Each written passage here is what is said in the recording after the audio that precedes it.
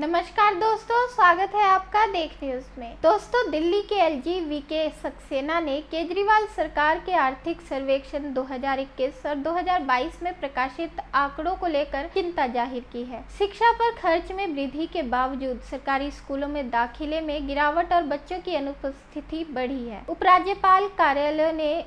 सोमवार को मुख्य सचिव को पत्र लिखकर इस मामले में प्राथमिकता के आधार पर सफाई की गुजारिश की है इसी के साथ ही उन्होंने कहा है कि विसंगति की व्यापक जनहित में जांच करी जानी चाहिए उपराज्यपाल कार्यालय ने सर्वेक्षण का हवाला देते हुए कहा कि साल 2014 और साल 2015 में शिक्षा क्षेत्र में 6000